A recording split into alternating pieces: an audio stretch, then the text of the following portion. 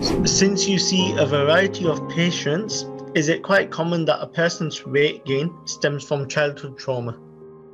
Yes, definitely. So, this is why when I start consulting my patients for weight management, I usually start from childhood. In fact, I would I usually ask my patients what was their birth weight.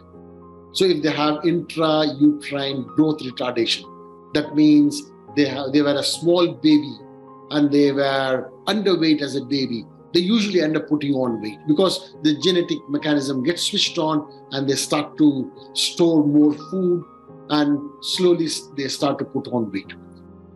So it's very important to find out if there have been life changing events in the natural history because that's the key. The key is to find out why did you put on weight? What was the reason for putting on weight? So, childhood trauma is a huge impact on the person's life. So, this is why I ask my patients if they had a happy childhood, if there was any child abuse, or there's any accidents, or the major operations. Um, so, all these things can have an impact on how a person um, puts on weight and their relationship with food.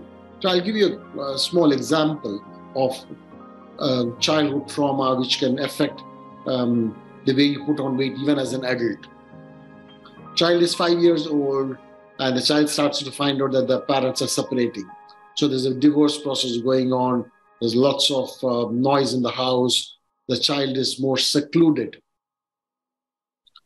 And slowly the child finds that it can't seek help or solace with either of the parents and starts to live with the grandparents. So the grandparents look after the child very well, in fact, too well, and start feeding the child to keep the child happy. You know, food is happiness.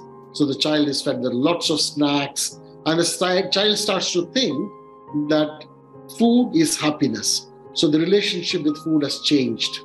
So whenever you have any problems, you start to eat more. So as a child grows up into an adult, and whenever there's future problems, even as an adult, he or she goes for food. So whatever has happened during childhood dictates what happens in the adult life. And I think that's the case with uh, lots of other metabolic problems as well. So the impact during childhood makes a huge difference on what happens during your adult life. Yes, you're right. And that's why it's important to unravel that and get over it.